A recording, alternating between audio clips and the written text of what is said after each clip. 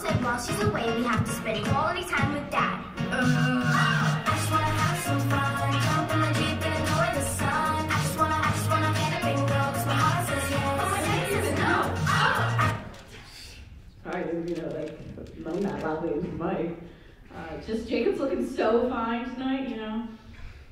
Yeah. I agree. Thank you, Jacob. all right. Um, so I'm Siobhan. Some of you may know me as Panhell Siobhan. Um, that was a time in my life. Others of you may know me as the girl that trauma dumped last show. Gonna, yeah, I was still gonna do that. Um, one of you Fedigan Hall people thinks that my boyfriend is actually my brother. He's not.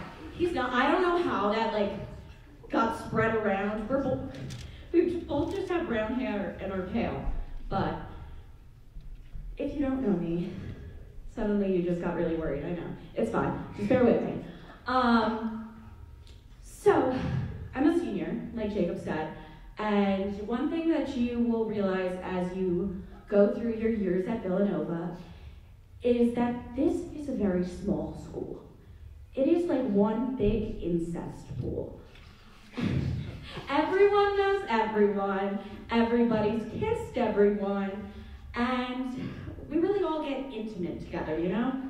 Um, so it'll be, you know, your senior year, and one of your friends will like come home from Kelly's and be like, oh my god, I just met, this really nice guy, Kevin, like, we hit it off so well. And then you have to make the awkward decision of telling her that he was, in fact, your freshman year courts hookup, and he gave Vanessa the clap. Um, yeah, we like we like gonorrhea out here, right? Woohoo! all right, all right. Um, but yeah, you know, Villanova, since it's so small, there's slim pickings. You know, once Kevin cleared up the clap, he started looking mighty fine. Took some proactive, you know, freshman year hookup. Now as a junior, like, hmm. Because you have no other options. It's either double dip or stay a virgin. We're all Eskimo buddies here. Um, so it's really awkward, and um, but we just got to do it.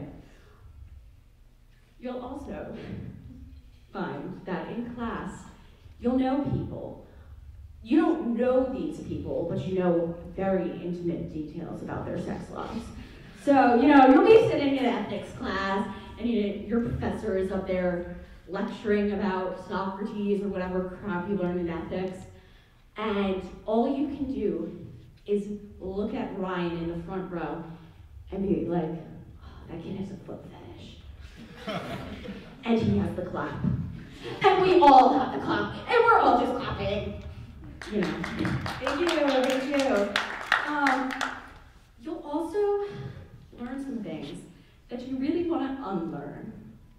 For example, I know this girl whose boyfriend, the night before they started dating, had a guy stick it in the ass and he shit the bed.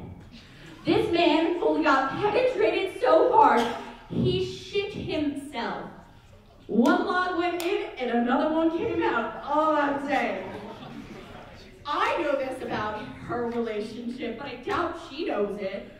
Um, and like, what am I gonna do with this information? Like, go up to her on the Holy Grounds line and be like, "Hey, girlie, how you doing? Uh, so I just want to let you know that like your boyfriend of two years, yeah, he liked butt stuff. So much so that when he has it in his ass and it gets removed, he likes it so much that more just keeps coming out. Anyways, oh my god, so good to see you. Um, yeah, enjoy your mocha. Ha ha ha. Silly. I'm bold, but even I'm not that bold that I'll like go and home wreck a couple in the middle of con rush hour. So, you know, I like justify it in my head. I'm like, oh no, like, they'll break up. Or surely he'll tell her at some point in time, right?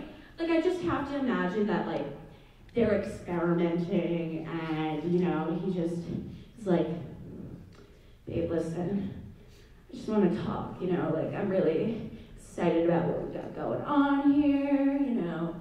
Um, but, you know, I need to let you know. Number one, I like anal penetration. And number two, get it? You.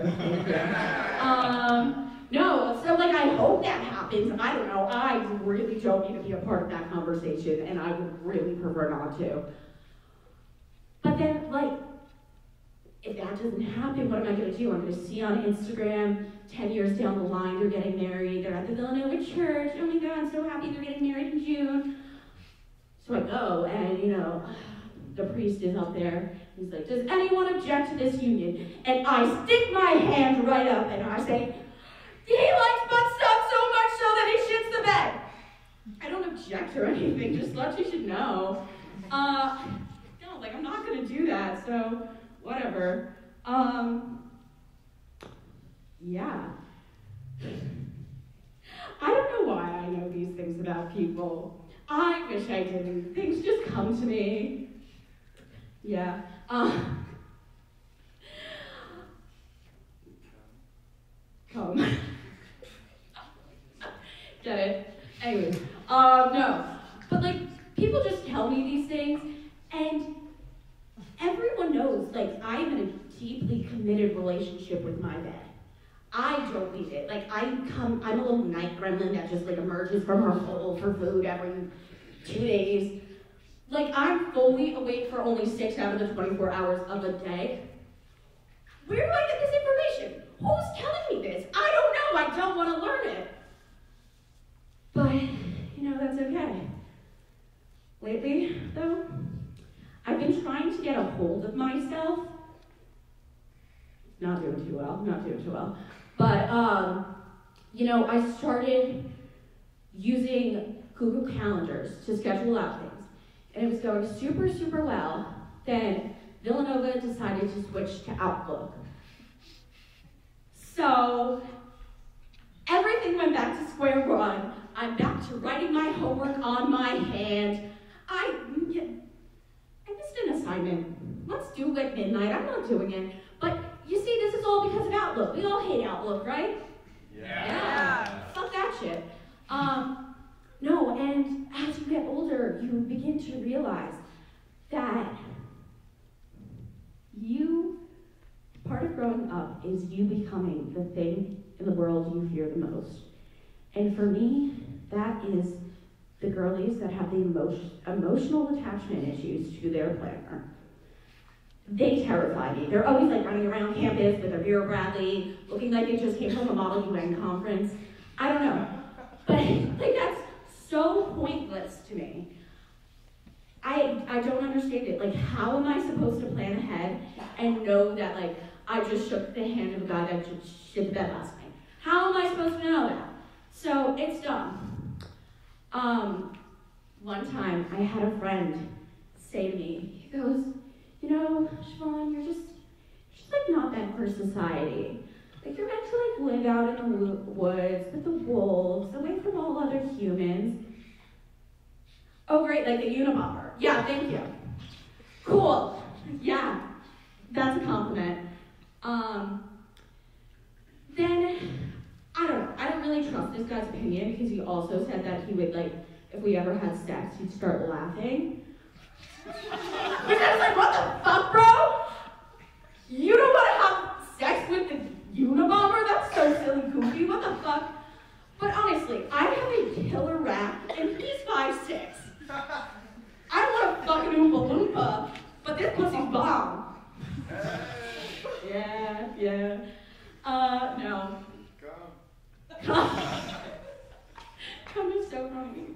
Um, anyways, I don't know. I just feel like as of as of late, life's been fucking me so hard in the ass that I'm about to shit the bed. and that's all I got for you.